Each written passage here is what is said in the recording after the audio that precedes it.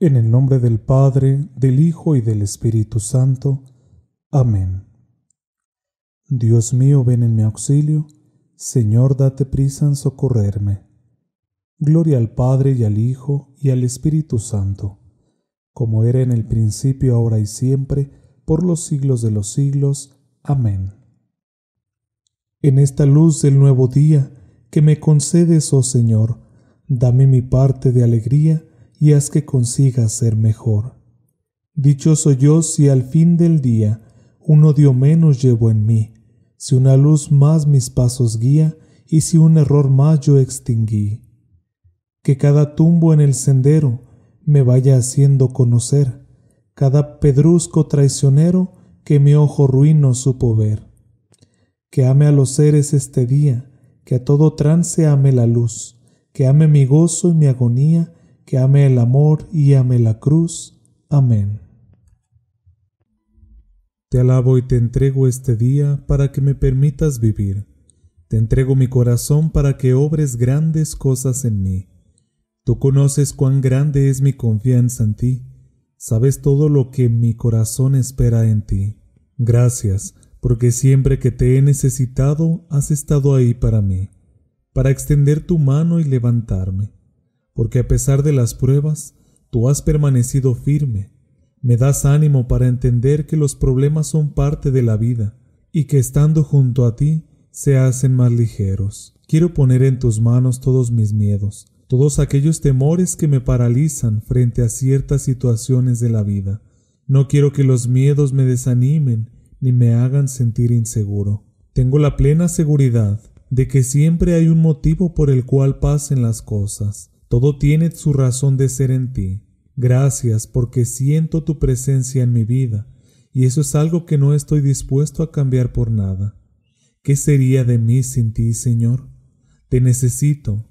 Por eso no dudo del poder de esta oración. Quiero seguirte, mi Señor, con todas mis fuerzas. No quiero dejar que las cosas del mundo me roben la atención. Quiero mirarte siempre a ti.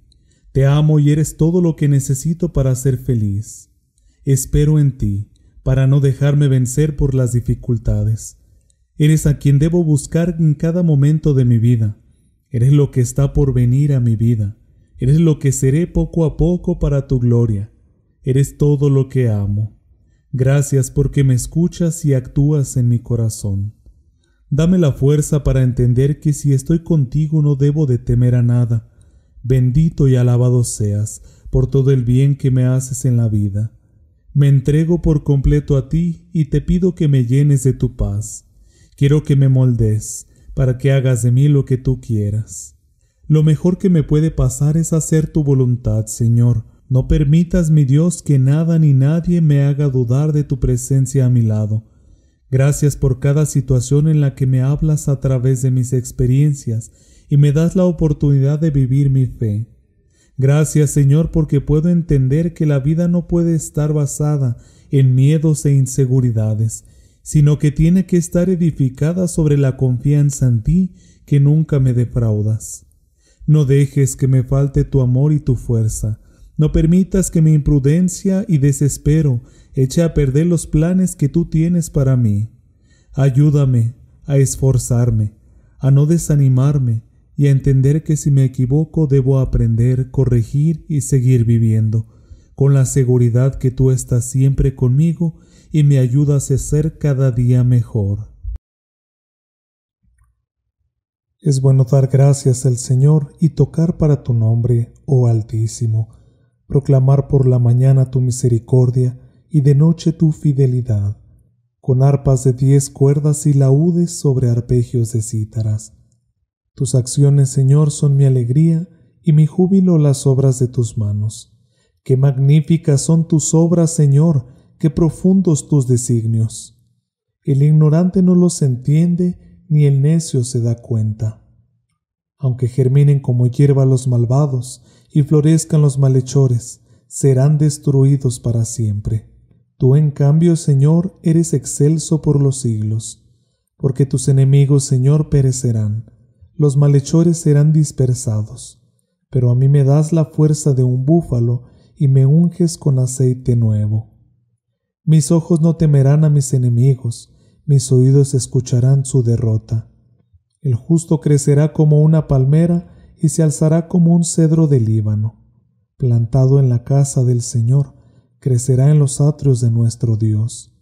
En la vejez seguirá dando fruto y estará lozano y frondoso, para proclamar que el Señor es justo, que en mi roca no existe la maldad. Señor dueño nuestro, qué admirable es tu nombre en toda la tierra. Ensalzaste tu majestad sobre los cielos, de la boca de los niños de pecho has sacado una alabanza contra tus enemigos, para reprimir al adversario y al rebelde. Cuando contemplo el cielo, obra de tus manos, la luna y las estrellas que has creado, que es el hombre para que te acuerdes de él, el ser humano para darle poder.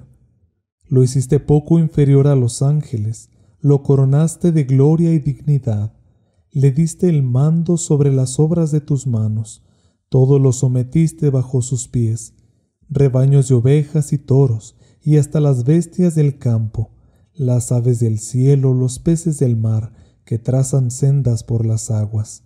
Señor, dueño nuestro, qué admirable es tu nombre, Señor, en toda la tierra. Creo, Jesús mío, que estás real y verdaderamente presente en el cielo y en el santísimo sacramento del altar.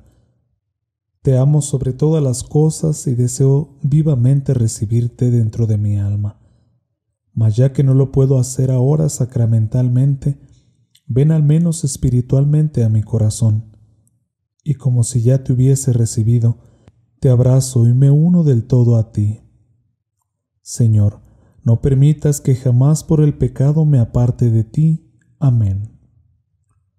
San Miguel Arcángel, defiéndenos en la lucha, sé nuestro amparo contra la perversidad y acechanzas del demonio que Dios manifieste sobre él su poder, es nuestra humilde súplica. Y tú, oh príncipe de la milicia angélica, con el poder que Dios te ha conferido, arroja al infierno a Satanás y a los demás espíritus malignos que vagan por el mundo para la perdición de las almas. Amén. En el nombre del Padre, del Hijo y del Espíritu Santo. Amén. Con gran afecto y seguro de que Dios está obrando maravillas en tu vida, te saluda Jesús Flores Ortega, seminarista y por gracia de Dios futuro sacerdote.